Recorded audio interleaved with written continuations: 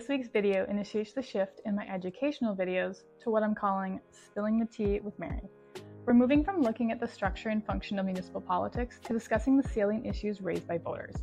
For each issue area, I'm breaking down how the issue comes about and what's been done, and I'll wrap up by sharing how I think we can move forward. This week's video focuses on challenges and opportunities regarding land planning and development in Selwyn Township. I'll first deconstruct Ontario's housing affordability and supply chain crisis, and the contention surrounding Ontario's newly instated Bill 109, the More Homes for Everyone Act. Next, I will discuss the different land use designations we have across Selwyn and how these affect our ability to develop. Then, taken together, we'll unpack these tensions surrounding housing and infrastructure development in the village of Lakefield and the challenges surrounding lot severance in Smith and Ennismore, and how these are expected to impact our township as a whole. Ready? Let's jump in. To begin, what is the current housing crisis in Ontario? The current issue, in its most concise form, is that Ontario is in a housing affordability and supply crisis. House prices in Ontario have almost tripled in the last 10 years, and incomes have not kept pace.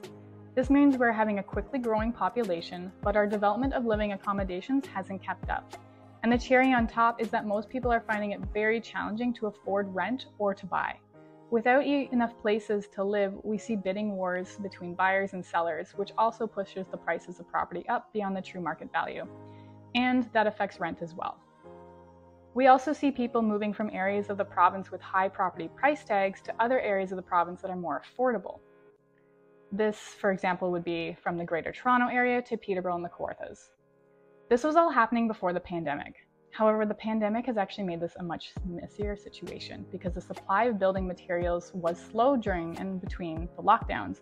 This meant that building of new homes was slowed. Further, with inflation, we're also seeing rising costs of food and transportation. So even if people had money set aside for housing before, it's trickier now for many. Altogether, the different elements of this housing crisis are hindering the quality of life for many in Ontario. The question then is, what have we been doing about this? 109 comes.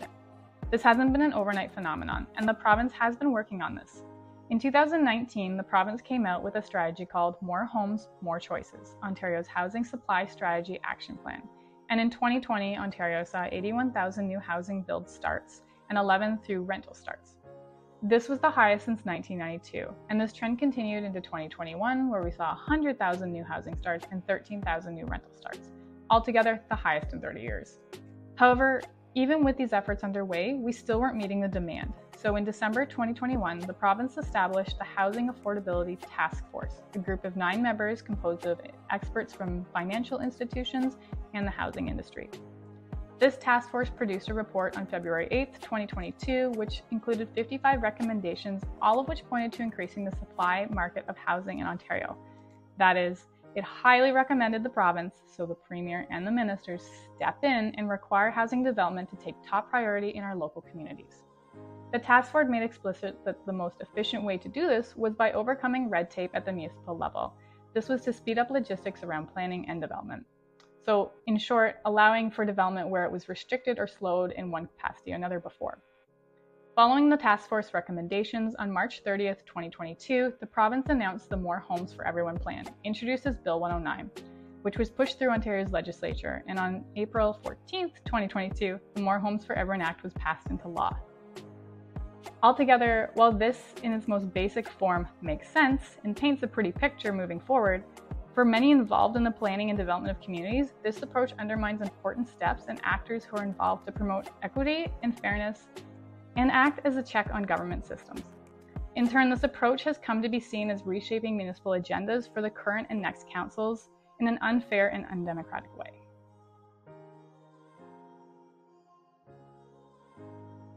There are a number of elements that lend to the controversy surrounding this effort by the province, including environmental concerns, not enough labor or materials, unpaid public servants implementing development plans, and a lack of clarity in how the province intends to accomplish its goals. I won't go into all of them here to, to keep this video short, but if you see me in person, I can explore these in more detail. For this video, I'm going to focus on how this law is affecting our local decision making and highlight the challenges we are seeing right now. For municipal councillors and staff of many municipalities, the expectations of the law are written from an urban perspective and expect all municipalities in Ontario to conform quickly And this means spending time and money to update and align bylaws and policies with provincial objectives and sidestep other important projects, even if municipalities have been working on those for a while and we know they're going to better the quality of life for our residents. Put this in a local perspective, we need to explore key elements in the hierarchy of land planning in Ontario. This includes official plans, zoning bylaws, land use classifications, and land use schedules. Each of these are important puzzle pieces that we need to wrap our heads around in order to understand how Bill 109 is impacting our local development. Let's start with the general flow of power and authority surrounding planning documents and the actors using them in Ontario. Recall from my previous videos, I explained that Selwyn Township is a lower tier municipality under the upper tier municipality of Peterborough County. This means our township has two political representatives, the Reeve and Deputy Reeve, who sit on Peterborough County Council and help make decisions about what development can and should look like across our eight diverse lower tier municipalities.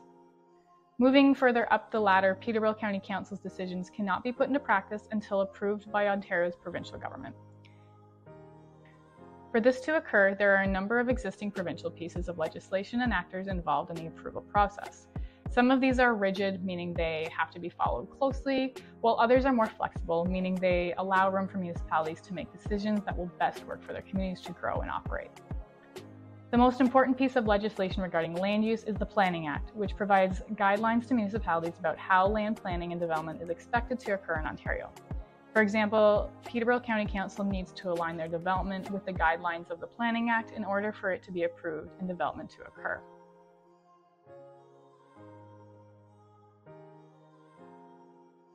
The second important element we need to consider here are zoning bylaws. Under Peterborough County's official plan, each of the eight lower tier municipalities, including Selwyn Township, produce and operate their own zoning bylaws, which align with both the Planning Act and the county's official plan. A zoning bylaw is a document that gives townships legal authority to regulate how land and buildings are used on specific parcels or classifications of land. As a resident of a township, you might engage with these documents when applying for permits to build or update a home. The last two important pieces here are the land use classification and schedules. A land use classification is a designation of land, those both privately owned by residents and business owners, and those publicly owned by the government. Municipalities, in turn, create land use schedules or maps of how the land in their boundaries is classified and use these maps when deciding what can be developed, where, when, and how. These classifications are housed under Canada's land inventory and have been used historically to protect land from development. Today, these are used to inform the province and Peterborough County's official plans when deciding where and when to transform land from one state to another. It's important here to note that research in the last 50 years has secured us in this classification system because we realize that when we develop land in certain ways and capacities, those processes do not allow us to reverse the development or restricts uh, the different ways we can develop the land in the future. Land classification and schedules are revised and updated as needed to ensure we are thinking ahead and protecting as much land as possible. Recently, the province has updated its benchmarks of each of the different land classifications. In turn, the province requires municipalities to update their land use schedules or maps to demonstrate these changes on the ground. Peterborough County's 2022 official plan, the one we're waiting for approval on, includes the most recently updated land use schedules for our area.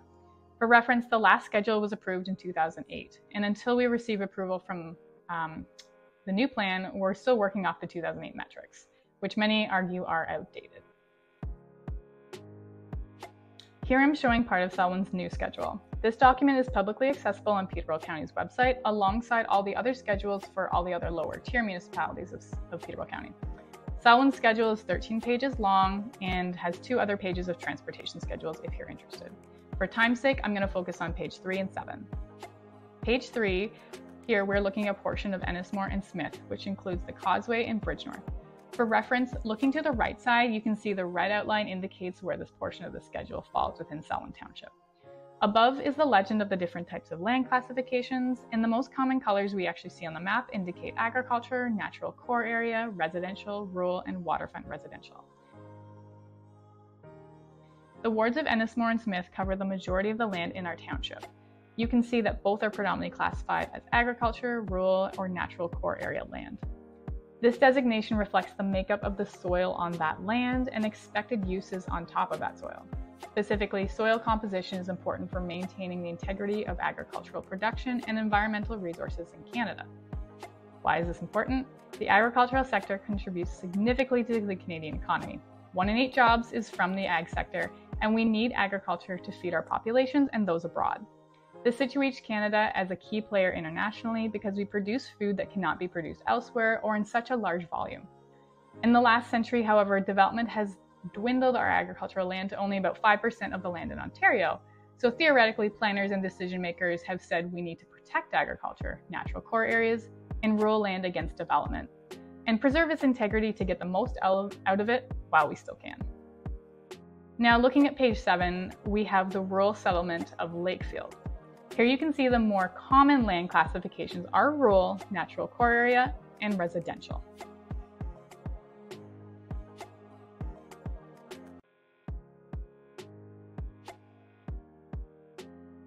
When considered together, the province's expectations for developing more houses and updating the classifications under Peterborough County's 2022 official plan together present conflicting approaches to development in our area.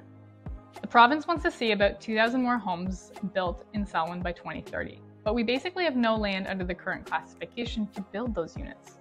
Further, the province is asking our municipality to deal with those conflicts without any guidance, and this poses different challenges and benefits to each of the wards in our township. Recall the historical tensions I mentioned in the first video regarding how wards were forced to come together in 1998 and 2001? These tensions have divided our wards and communities on some issues, and when we discuss land development, there really is this us versus them approach, and it's ingrained in our larger debates. But when we talk about land development, it becomes even more sticky because the different land classifications found in each ward means decisions have to be tailored to each ward. And this means we have to talk about what they can and cannot do, not what they want to do. In turn, prospects for building homes or expanding commercial spaces does look different across the wards. However, on a commonality across the voter groups, so those supporting development and those protesting it, and everybody in between, um, we all have these concerns about the province's expectations affecting our municipal tax bills in the future. At the moment, this impact is unclear.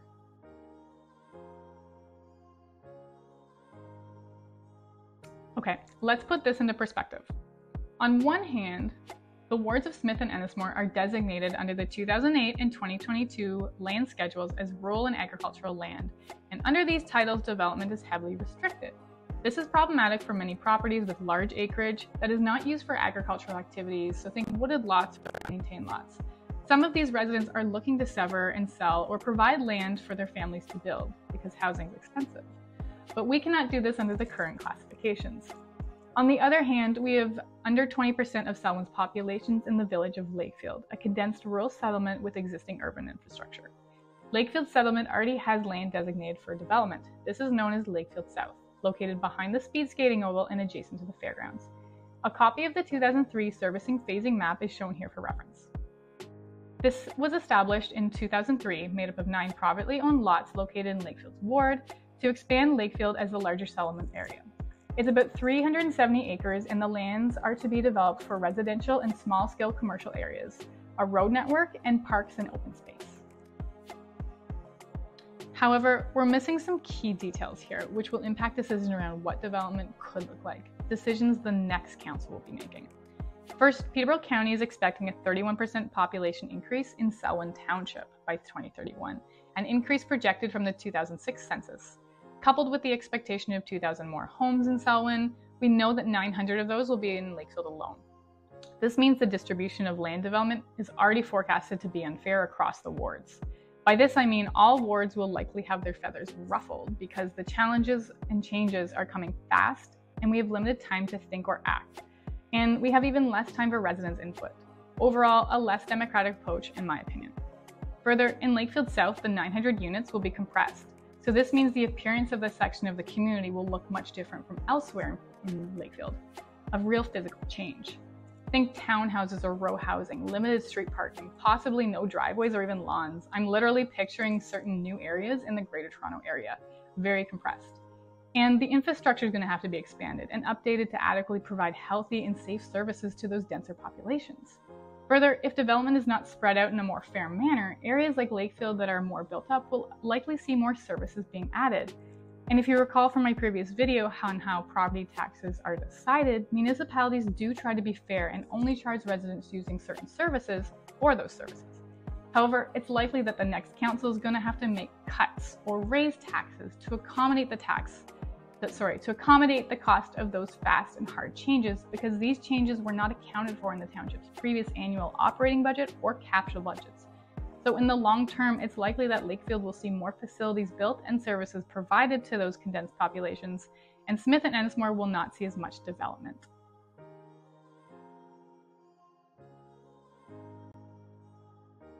Under the county's official plan submission to the province, Peterborough County Council has asked the province to allow for two lots to be severed per 100 acres, up from the one lot per 100 acres we currently have in place.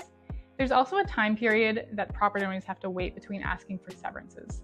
The county has also asked for this time range to be shortened, and this would allow for some development in the wards of Smith and Ennismore. I have many feelings about this current situation, but here's my top concerns.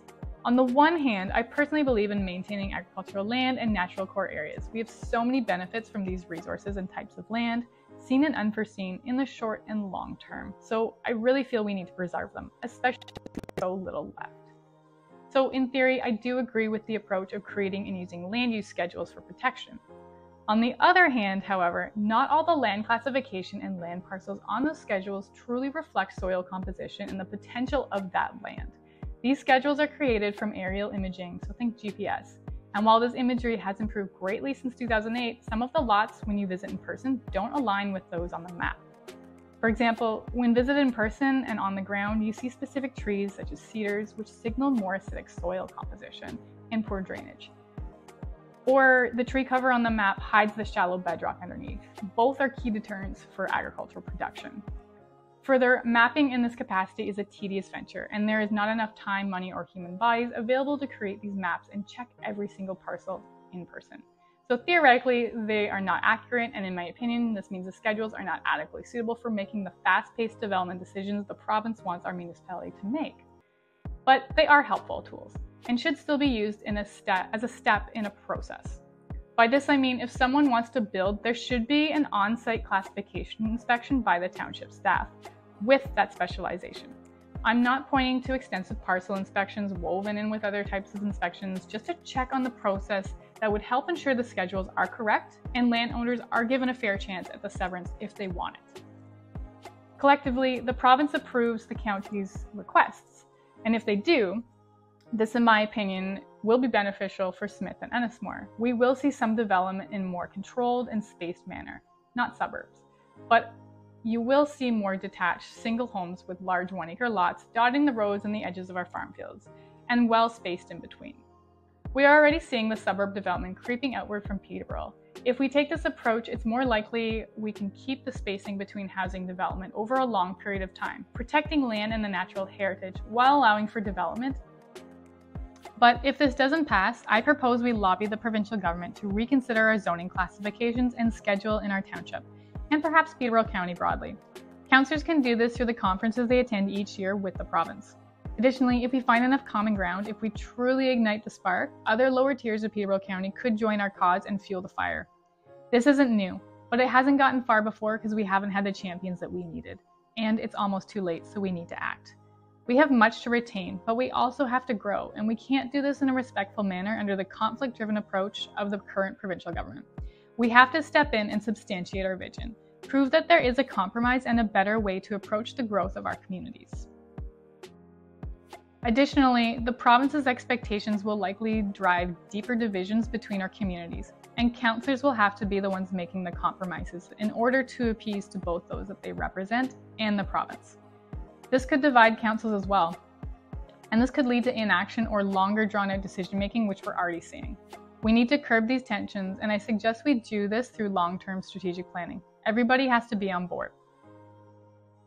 Coming out of COVID, the timing is right, and we need to hit the ground running.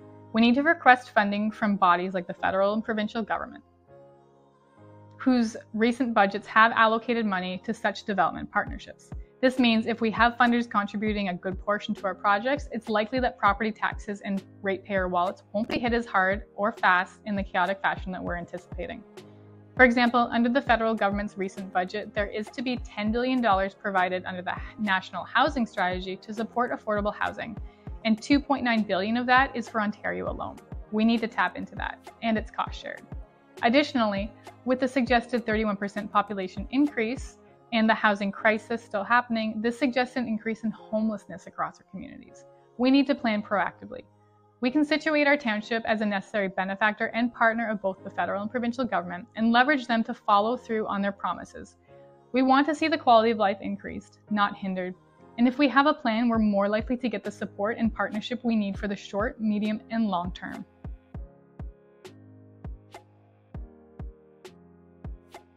I just want to point out a couple more important details that point this issue into perspective.